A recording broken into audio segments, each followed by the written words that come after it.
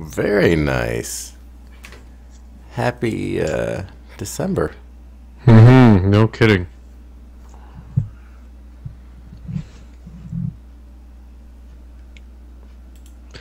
So, Jeff, Dave. We're wowsing. is that good? Uh, I think so. Hey, Peggy. Someone's people are paying attention. Oh, all right. We got to step up our game. Hello, everybody. Okay. And I should go ahead and turn on. If I, if we're streaming, I'm gonna I'm gonna do the whole thing. Shall I send them to the Wowza link?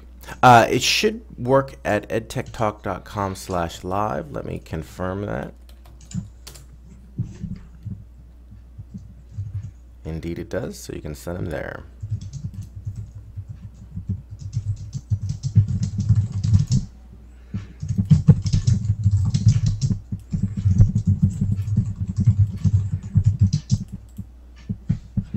Uh, and sound is okay, Peggy?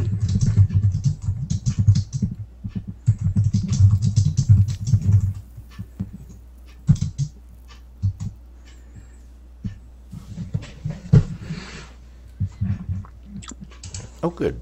And you will have no commercial interruptions whatsoever. Hooray! Yay. Tell us all about Wowza, Jeff. Even the typing sounds great.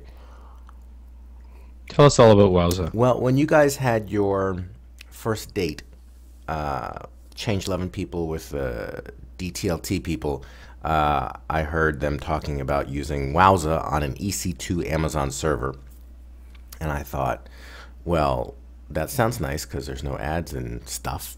So I went about giving it a shot, and it was not hard, but a little bit confusing first time out. So I set up a meeting with Tim Owens of DTLT to kind of show me the ropes, which he did, and posted that recording to. Um, ah, I hate our chat room. This is the missing piece of the puzzle. Anyway, I was going to put that link in there, and I can't paste it into our old add-on chat. Um, but it's at jefflebow.net. Anyway, he showed me how to do it, and so now I'm doing it. Uh, and so I've got my little Amazon EC2, and the way this works is I pay about 15 cents per hour, uh, plus a few little uh, five dollars a month, and a few little extra fees here and there.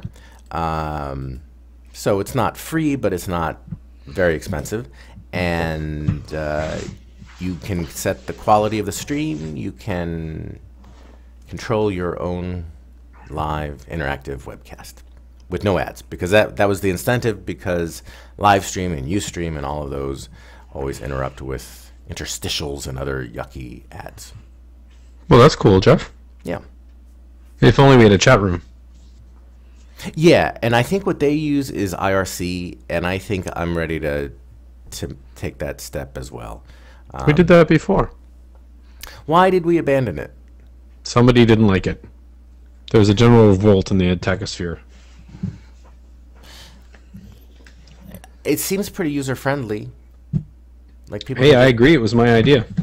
um, and I don't know if there's automatic archiving and that kind of stuff, but um, is the video streaming free? No, it's five dollars a month plus fifteen cents an hour, um, and plus a little extra if you want your own Elastic IP, so you don't have to change the interface every time. The IRC, what would be involved in paying for an IRC room? We don't have to pay for it. Just set it up. And that's what I was hoping you'd say. So we should look into that because I'm, I've had it with this chat room. Uh, oh, Kamon is ignoring themselves. That's good. I can see that. Um, so what's up? So it's a street- This is EdTech whenever. It's December fourth or fifth, depending where you are, and we have declared snow days for the last three or four weeks. Uh, because the whole game. We're a wasn't- show in a crisis. Show's in a crisis. crisis mode. We're always in a Panic. crisis. Uh, but I said, okay, I'm going to stream one way or the other.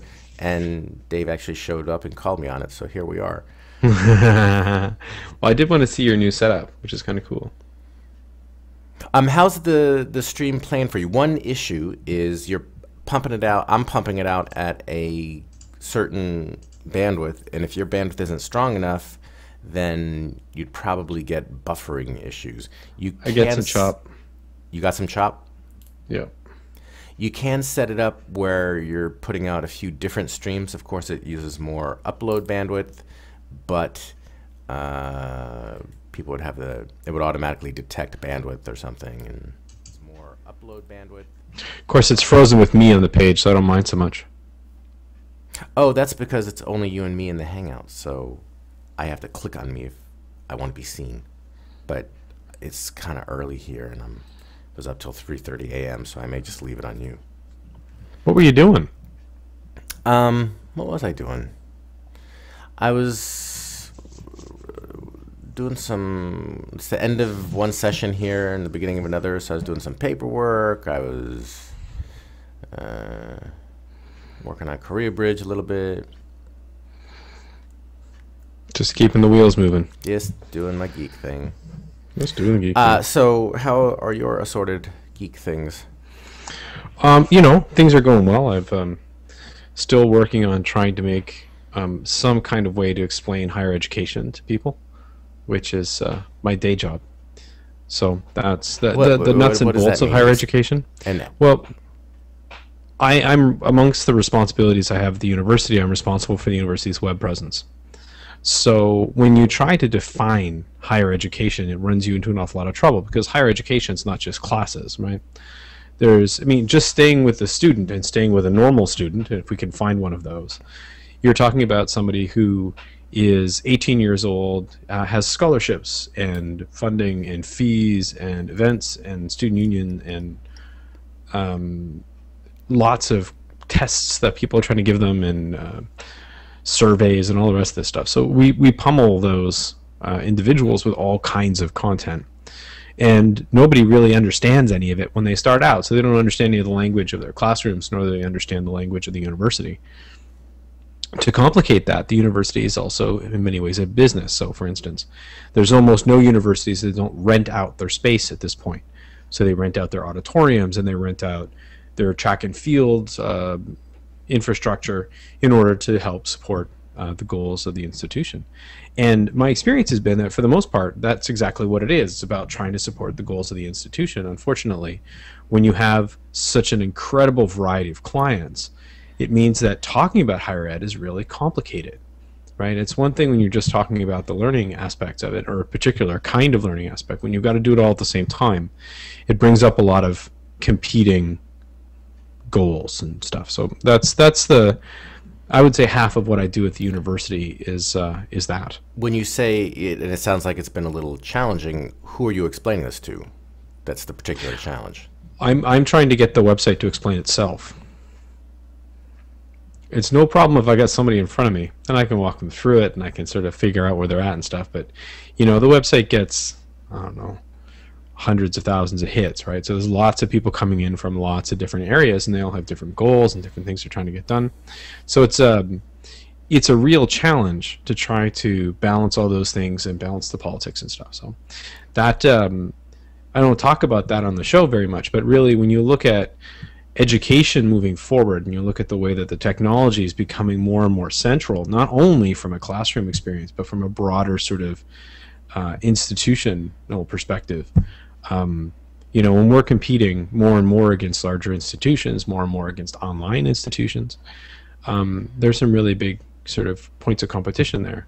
You extend that one step further, and you look at what stuff like the University of um, University of America, I think it's called, um, and the the University of Phoenix's those guys, the things that they're able to provide for their students from um, from a technical perspective are really things that we can't compete with. So, as an online student at an institution that's got its act together, they can tell you exactly how you measure. like The University of, of America, I think that's what it's called, has 85,000 students, and they can tell you at any given time where you rank amongst those 85,000 in the most likelihood of you dropping out of class. or how you're doing again like at the signals project in, at purdue how you're matching up against the other students in your classroom or across all of the students who are taking a specific course particularly useful for like first year students if you're in biology uh, one of those big big classrooms. There's a lot of that infrastructure that you can pull together to try to give students a sense of where they're at from a at least from a statistical perspective. And it's not just grades wise but attendance engagement all of those things. But in order to get that work done there's thousands of hours of backroom discussion that needs to happen at the institution to pull people together to do that stuff So, And were there any particular discussions recently that uh, caused you to lead your answer to what you've been up to with that? Because this is part of your day job. This is what you've been doing for, it's been part of your day job for a while. Why this week did it come up? Well, this week I've really I've come to terms with um, with I, I'm sort of a lot of the work that I'm doing is coming to a whole is coming together. So, for instance, this week I tried to write um, demonstration scripts uh, or use cases for um, the student information database people who are coming to visit that say, okay, so what could I possibly want to know ever about a student to find out how I can support their success? So, assuming that I can have anything, assuming I can have whatever I want to know about a student, what do I want to know and how can I help that student?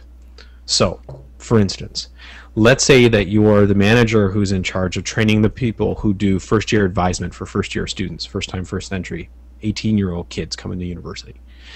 Some of that is about preparing kids for studying and that stuff, but a lot of it isn't.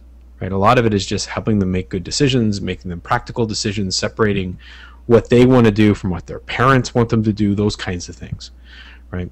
So if I know if I can ask the computer system what is the likelihood what what course combinations lead to the highest likelihood of students failing so if i find out that if you take business 101 english 101 and psych 101 in the same term you have like a 50% higher chance of failing that tells me a great deal about the likelihood you know the, the sort of it gives me something i can talk to the student about from a next perspective, if four months four months later the student's in the system, and we find out that the student is their grades are dropping, but they're not touching any of the academic support systems inside campus. So maybe it's have that send an email to the person who does those. So that person reaches out and goes, "Hey, we know, you know, is there something we can do to help you out? You know, we have these sessions on Wednesday. Maybe you'd like to come out and meet with the rest of us, and we can talk about this." Um, now, there's a whole bunch of other questions about whether we should be doing that, and and I think of those as being completely separate discussions. Is it possible? And then once you can find that out, then you start talking about whether or not it's ethical and those other really important questions. But I've been trying to write those in the last couple of weeks, and it's really started to make me think about the the other side of the technology in terms of the way that it supports education, both from an informational perspective, which again has been my my work for a while now, uh, and then also how much of that statistical information, but the fact that somebody is going to has just got a gym membership is relevant from an institutional perspective, right? In the sense that that talks about some of their engagement with the university. Whereas if they cancel all of their memberships, stop being a member of any group, they start dropping out of everything else, then you've got some warning signs that maybe there's a kid in trouble. It Might also mean that the kid has taken up skiing. But Wow. You know. That's part of your job.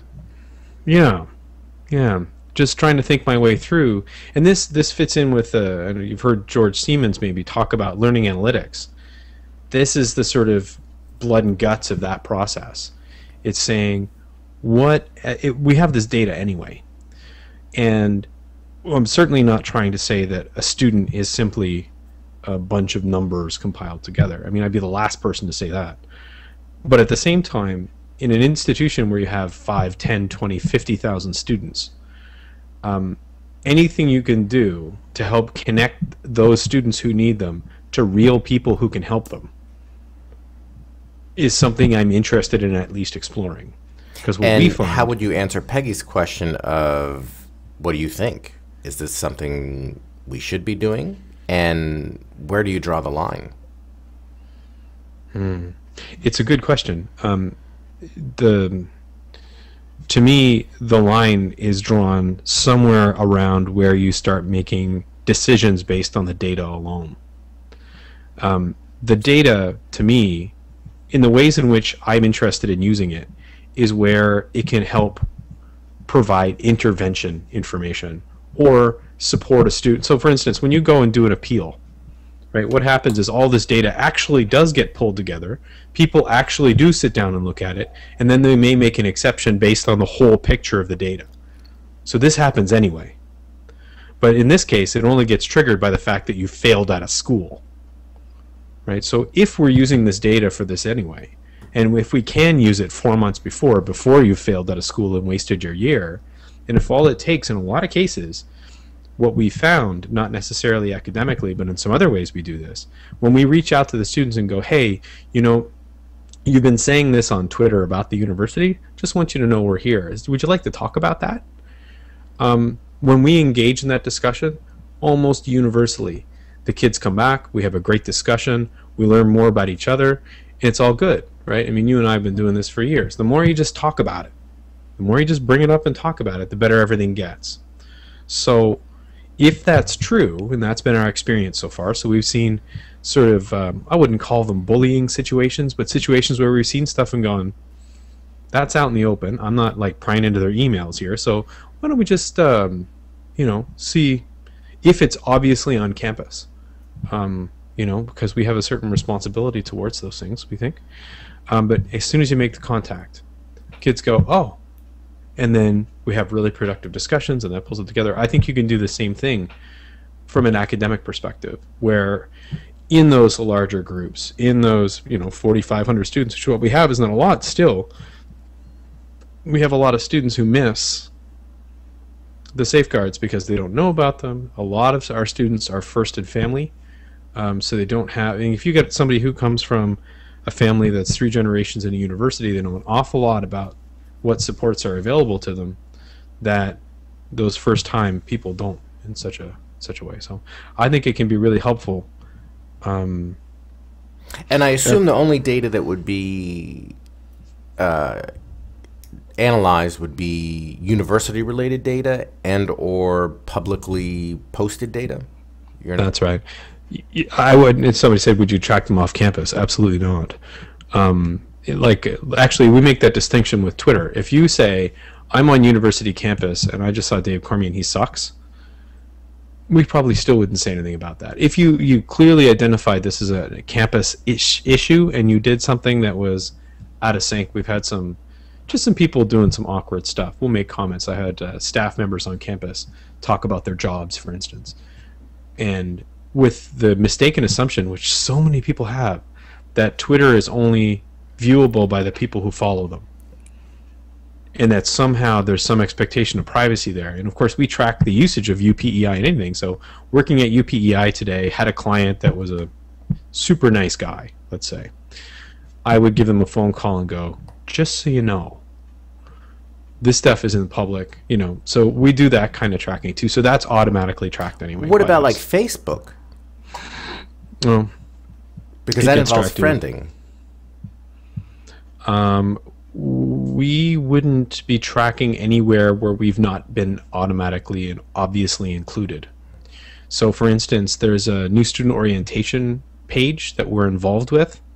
If somebody posts on that page with stuff like that, then we consider it part of our network. So, if you post on the UPEI page, the group page, we'll say something about it. Um, what you say anywhere else on the internet is not for us. We will occasionally notice that something nasty has happened, and we may take that and get that information to the people who need to know about it. So, um, and, and help support that kind of stuff. But for the most part, yeah, not not really interesting. Has there been any uh, opt in, opt out, proactive? Just want to let you know we're tracking this stuff kind of information oh, yeah. exchange with students. Yeah, we do. We let them know. Um, and most of the stuff, like when we, even when we talk to them, there's no record of that. We don't put it in a file anywhere or any of that stuff. We'll just sort of send an inconspicuous, just so you know, you know, this is out public. Maybe you didn't know. Maybe you thought it was just your friends, but you know, this is the kind of thing that can have a, a, an impact on the way that people see you. That kind of stuff.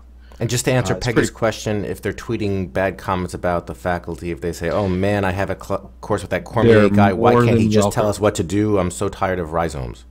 They're more than welcome to say whatever they want about the faculty in, a, in that kind of sense. If what they said was um, racist or um, Threatening. obvious, threatening, that kind of thing, um, we have a student code of conduct on campus that they've all signed. So if it's in breach of the student code of conduct, and I don't mean subtly in breach, if you've gone way over the line, um, that triggers a series of things. If you've identified yourself as being on campus, um, then you have signed a code of conduct that you're in breach of. So we'll, we'll do something. And again, do something about it is usually it's super student focused and it's about trying to explain to them what these things mean whenever they're brought out into the open like this. Um, so but faculty, we had we've had some instances where faculty have said stuff um, about students. Again, misunderstanding that Twitter is not private. Think of it as it is, and like, it's just you know it's an email back going, "This is what you said."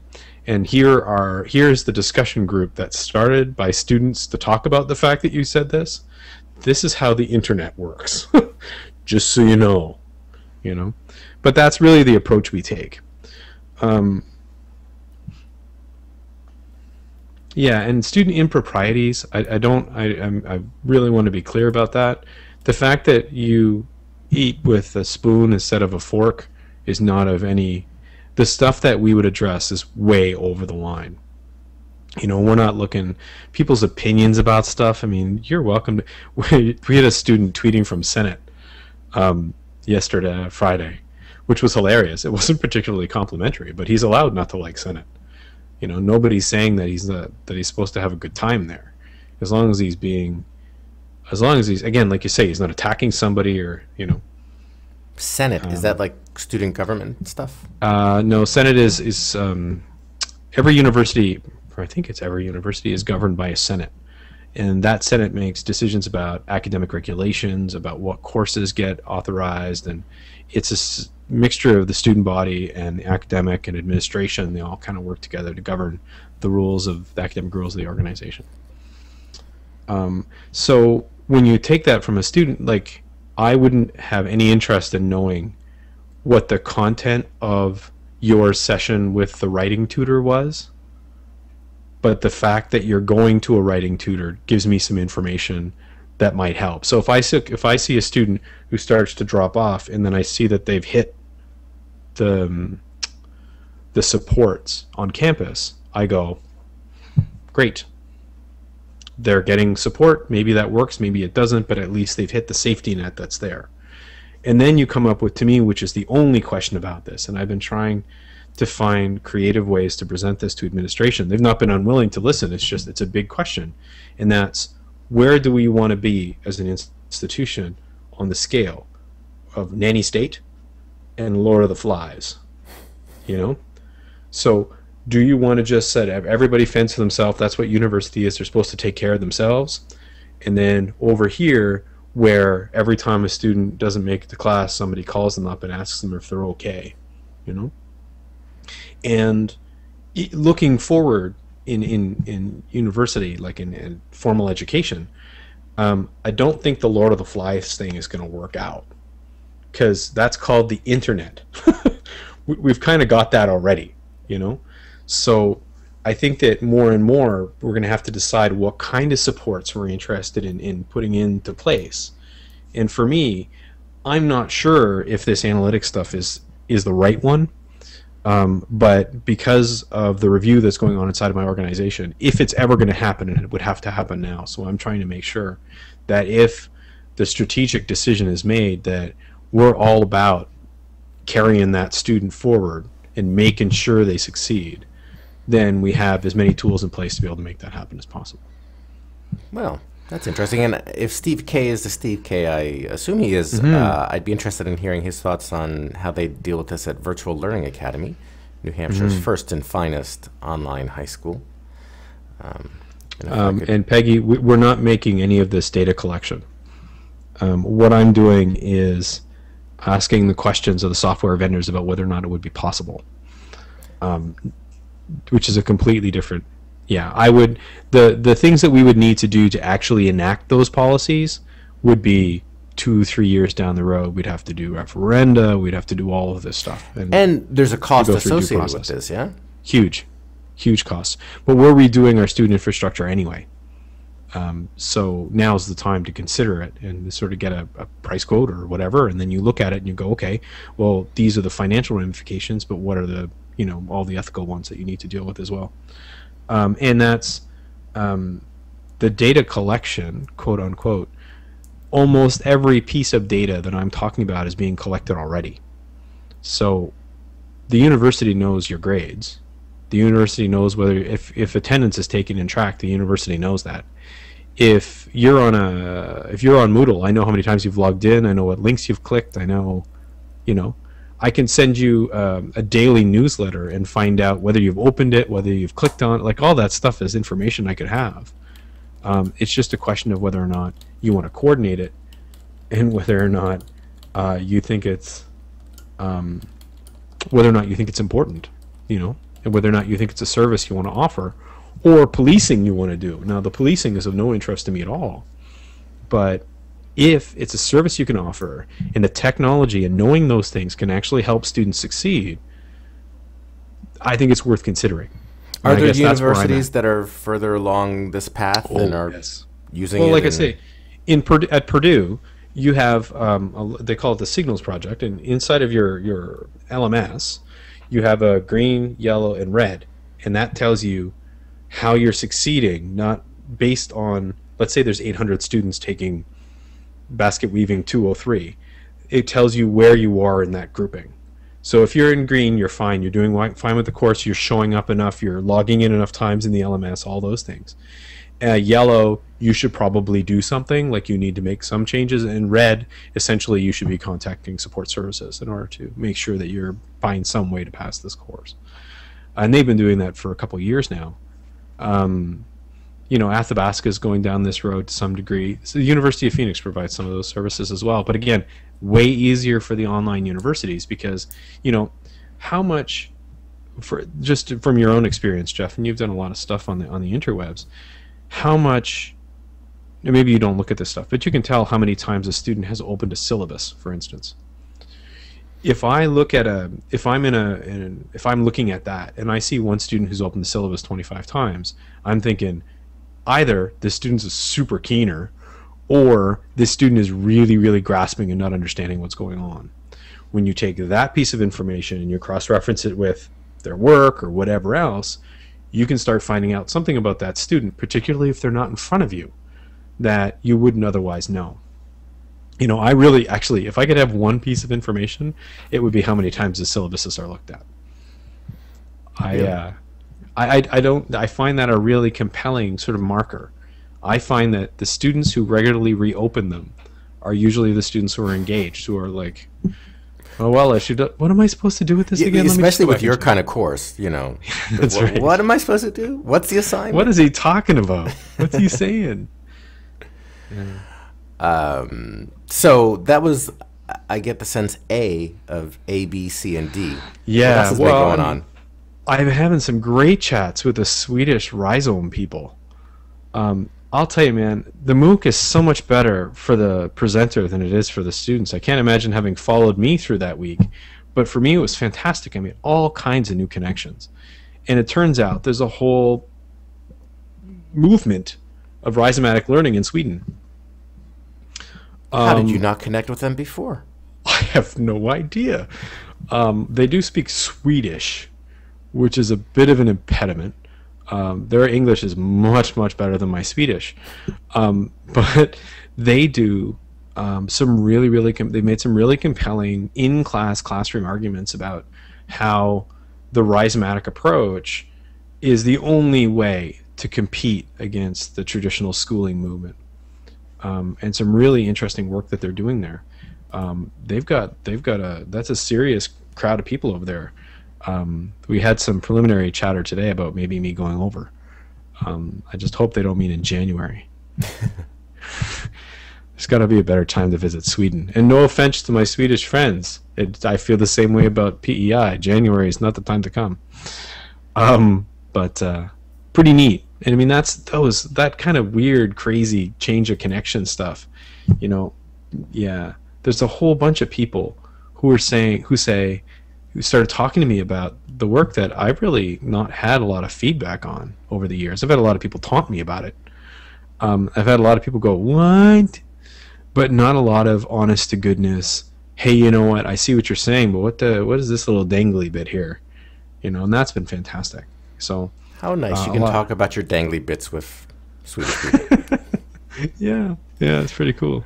uh, how's What about you, 11 Jeff? going? Um, I've been on the downslide there the last couple of weeks, and uh, hopefully we'll be picking back up this week. It's one of those things where the three of us slip and slide back in and out. One week Steven's leading the show, and one week it's me leading the show.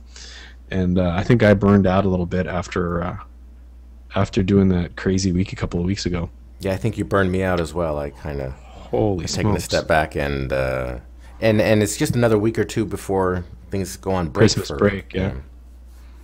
Oh yeah, that'll be good. Yeah, for sure. What about you, Jeffy? You're changing up. Um, you got, uh, Uh, dealing with academic paperwork and booking plane tickets. I'll be going back to New Hampshire in February, which is just a lovely time. Yay. But I'm going to pass through uh, Los Angeles and Las Vegas. I'll be in Vegas for the Super Bowl. Oh, okay, you no way. Yeah. Do you have the five thousand dollars you need to get in? Uh, they let you in the city for less than that. I meant the Super Bowl. Oh, Your Patriots will probably be there. oh, uh, well, I I am not going to the Super Bowl. I'm going to Vegas. Hmm. And Vegas is surprisingly cool in the winter. So anyway, I've been. Um, it would be lovely to see you, Peggy. I don't know if I can ask the plane to stop, but Just let me out here. yeah, just. it would be lovely to meet Peggy. Um, so, do I have anything ed techy to share? Not really. I could try to make stuff up, but. Uh, oh, I saw the EduBlogs is happening. EduBlog The awards? Yeah. Well, actually, the Cormier Awards have already come and gone. So I, I enjoyed that uh, Twitter meme. my yearly protest. Yeah. And and you had the same winner again this year. Again, fourth fourth year in a row. Yeah. Yeah. Surprise! Come from behind victory. And it's funny how many more people are Twitter literate now. The difference between this year and last year is dramatic for me because a whole bunch of people from Charlottetown engaged this time. So somebody put up Occupy Cormier Awards. That was a guy from my university. Um, and last year, I don't think I would have had a single comment back from anybody here. And it just goes to show how much deeper the penetration is now. Um, and from a, like Twitter and the way that it's sort of a lot of people, the pe- the people for whom Twitter works, and that's not everybody, but um, it's a cross section of the population. I don't think of it as a particularly technological thing. Much like um, texting isn't technological, it's just it suits some people better than others. Um, and for those people, like I got a lot of feedback from non-educational people. A couple of congratulations to people and from people that I had to then explain that I was joking. Um, although most of them, most of them are people who follow me, so they sort of have that expectation that if I'm saying something, it's entirely possible. And then I got my logo from um, uh, from Julia, the Rhizomatic logo, which is now on my blog. That was that was what I was looking for. A graphic. I appreciate that, Julia. Mm-hmm. Yeah, Um, are you going to be doing the end of the year awards again, or not awards, do the- I'll do the top ten list. Yeah, it's been like six or seven years now. yeah. Uh, seems a shame to, to stop now. Uh, although I'm not sure that I think it'll be. I, I'll continue that slide that I've been making away from technology and towards sort of broader educational things. But what can I say? I mean, that's that's the thing about this show, I think, and you know the things that that we used to talk about when we started it the technology was changing and there was no no idea what was going to happen to it and what you could do with it. And now we've gotten to the point where yeah yeah we know the technology can do that but what why are we doing this is really more the question. And uh, you know we spend far more of our time now uh, as much as we'd like to talk about tablets that conversation never seems to happen you know? Um, although i have to say that i'm pretty much settled. I'm going back to laptops. Why is that? I can't type on them Do you have the keyboard accessory? no but it just it doesn't feel right i want a laptop Yeah. you don't think so No, I, I don't have a tablet. I've never had one as part of my life. Um, I think we may be getting one soon. I think for my wife to play with, uh, and I can see it useful as you know a mobile device. But I, I think if you commute, it's fantastic. If I commuted, it would be wonderful. But I think I'm going to get a, um, uh, a MacBook Air 11 inch. yeah, and the reason I don't have one is I'm never far from a desktop. Yeah. Well, and what's happened to me in the last six months is I've gone from spending a lot of time in front of my computer to spending a lot of time in meetings. And I don't take the best notes. When I've got a piece of paper in front of me, I'm drawing little umbrellas and people dropping and rain and, oh, and maybe a little tree. I'm like Bob Ross, except I'm not an artist. Over here, we have a nice little tree. Yeah, that's It's me. just like you're in one long Elluminate session doodling. It's brutal. Yeah, no, it's brutal. People look at my notebooks and they're like, "What's that?" And I go, "Okay, you see that guy over there, that thing there? That's the that's the connection between the main website and the mobile website. And do you see how the guy is like in a demography? He's going to get it shrunk. Well, that's what's and it's drawing. It's all pictorial and stuff, but Wow. they're So barely doodles. recognizable. s- Oh, they are. No, I know what they mean. Um, but yeah, they don't. The the stories tend to take on a life of their own, and then I lose track of the discussion. Yeah, it's not good. Whereas if I'm typing, I keep really good notes. All right. Um, anything else? I think that's what's going on, Jeff. All right. Well, we did a show. We did Wowza. We did. We did. It Uh, works. We didn't break the internet. No, internet's still not broken.